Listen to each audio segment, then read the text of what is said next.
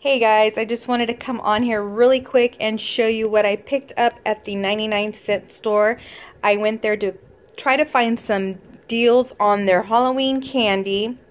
And actually this year I was actually a little disappointed. Last year they were selling them at the end towards Halloween. It was buy one get one free. Um, today when I went in there, they were still all 99 cents and they didn't have a whole lot of variety. But I'll go ahead and show you what I did pick up. So the first bag I got here were just the Whop the Whoppers. And this is a 3.6 ounce bag, so it's not too big. So this was 99 cents. And then I found these lollipops, and this one is a 24 count. They had that there. I ended up picking up some Tootsie Rolls, and these are the mini ones, and not sure how many pieces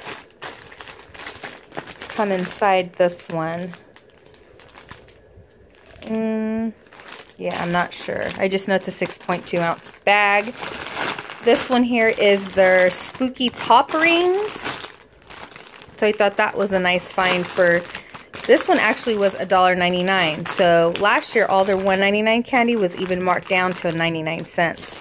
So yeah, wasn't that great of a deal. But you do get quite a few 16 um, pieces of rings.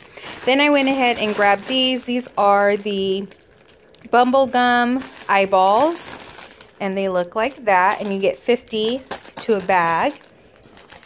And then we got some fun mix. And this is just lollipops, some like, I think there's like some fruit chews, some just like little hard candies. And this one is 40 pieces in this one.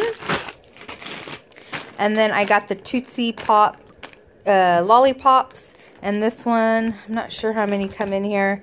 Again, this is another six ounce bag. So last year I was able to find deals on chocolate, but they did not have any. So I ended up having to go to Rite Aid because they have a Rite Aid next door.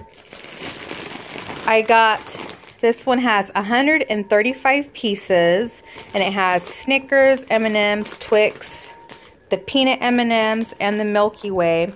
And this bag was on sale for $14.99. And this is a four pound bag. Not sure how good of a deal this was.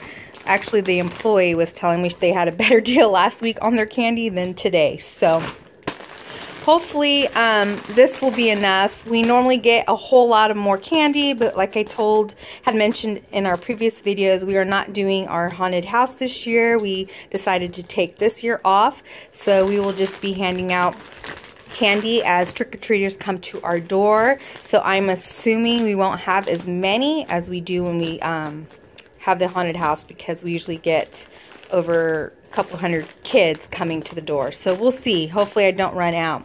And then um, I did want to show you what else I picked up at the 99 cent store. I got two bags of these 8 count value packs. They are the Snyder's mini pretzels. Um, I got these for snacks for my daughter's basketball team. And I thought, I've bought these before. I think they're a great deal. And then also I picked up for 99 cents were the Keebler. These are the toast and peanut butter. And it comes to eight in a package.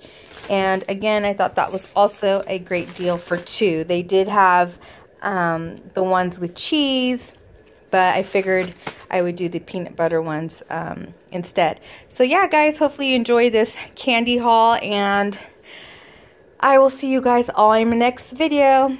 Happy Halloween. Bye.